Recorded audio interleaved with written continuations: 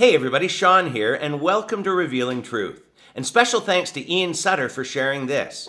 The video we're looking at today is with this lady, defending murder and saying it was good for Eve to eat the fruit in the garden. And why would she say this? Well, that's because this woman, Rebecca Todd Peters, is a woke pastor working with a despicable organization.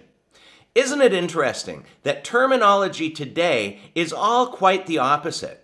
Dude, that was sick. I mean, my generation would be like, are you okay? Are you not feeling good? Or how about, that was wicked, bro? Meaning awesome. Wicked means evil from where I come from. And isn't it interesting that the term woke in relation to the church actually means the opposite? They are fast asleep and deceived. We're not going to listen to this full video, but I'll leave the link below. I was shocked to hear her actually call God a liar. I love the story of Eve in the garden. My second child is named Eve. When we look at it with fresh eyes, it's quite a remarkable story. Have you ever noticed that God lied to Adam and Eve? No, he didn't, and we'll explain this in a moment. Have you ever noticed that God lied to Adam and Eve?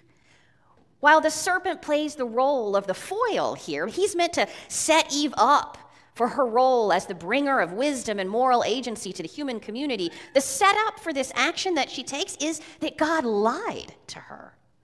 God told the first couple, You shall not eat of the fruit of the tree that is in the middle of the garden, nor shall you touch it, or you will die.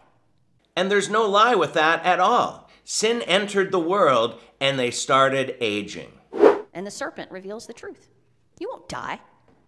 For God knows that when you eat of it, your eyes will be opened, and you will be like God, knowing good and evil.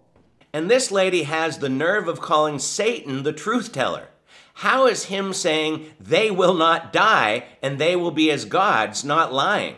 How can she say that's the truth? Well, of course, she has a twisted understanding if she's trying to prove that killing the unborn is okay. But just to back things up with scripture, in Numbers 23:19, we read that God is not a man that he should lie. In Titus 1 2, we read that God cannot lie. And in Hebrews 6:18, we read that it's impossible for God to lie.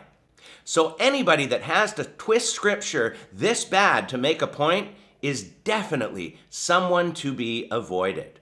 Anyhow, just a quick one today, but as always, leave your comments below, and until next time, take care and God bless.